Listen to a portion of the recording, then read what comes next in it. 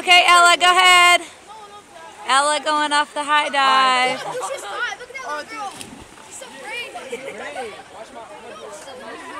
Awesome job, Ella.